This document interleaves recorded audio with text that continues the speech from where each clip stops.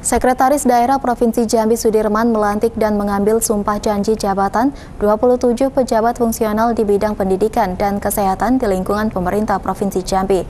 Pengambilan sumpah dan jabatan pejabat fungsional berlangsung di Aula Kantor Dinas Pendidikan Provinsi Jambi.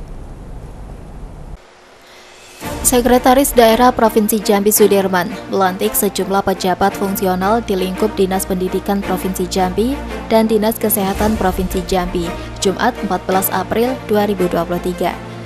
Sedikitnya ada 27 pejabat fungsional yang dilantik.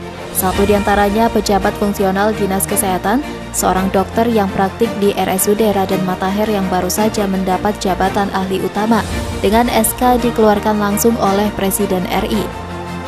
Sekda Sudirman mengatakan pelantikan ini diharapkan dapat berpengaruh terhadap peningkatan kinerja pejabat yang dilantik, sehingga bisa memberikan manfaat kepada diri sendiri, institusi, serta Pemprov Jambi. Selain itu, juga harus membangun kerja tim, harus berpedoman pada peraturan perundang-undangan yang berlaku. Jangan menyalahgunakan aturan untuk kepentingan pribadi, jangan sampai masuk dalam jeratan tindak pidana korupsi melantik pejabat fungsional baik itu di bidang pendidikan maupun di bidang kesehatan ya. Tadi yang kesehatan sudah masuk kategori fungsional ahli utama, oleh karena itu dengan SK Presiden. Jadi siapa pun itu nanti ketika ahli utama nanti akan di SK kan dengan SK Presiden. Dan sisanya itu uh, fungsional dari Dinas Pendidikan dan Kesehatan dengan SK Gubernur.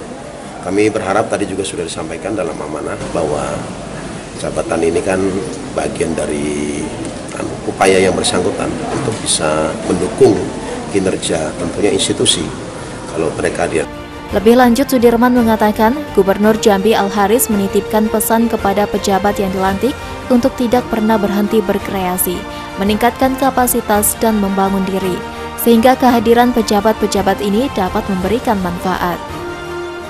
Rian Chen Chen, Cek TV, melaporkan.